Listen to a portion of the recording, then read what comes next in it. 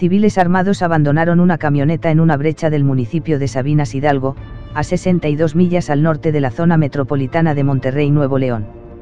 En el lugar, policías estatales localizaron cargadores y cartuchos de arma larga, droga y equipo táctico.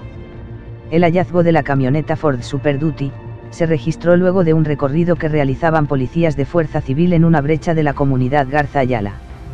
En un comunicado, la Secretaría de Seguridad Pública del Estado, informó que en la camioneta había ocho cargadores de arma larga, dos radios con cargadores, siete bolsas con marihuana, un bastidor de un arma R-15, y una gorra. La zona fue custodiada por elementos de fuerza civil, mientras se recolectaban las evidencias y se retiraba el vehículo.